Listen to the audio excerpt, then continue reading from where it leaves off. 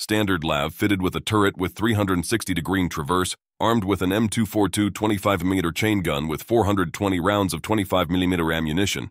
Both M791 APDST, armor-piercing discarding sabot tracer, and M792 HEIT, high explosive incendiary tracer, of which half is ready for use. 150 rounds are ready for use from one stowage bin, 60 from another stowage bin. The other 210 rounds are stowed elsewhere in the vehicle. A coaxial M240C machine gun is mounted alongside the M242, and a pintle-mounted M240BG machine gun with 1,220 rounds of 7.62mm ammunition is mounted on the turret roof.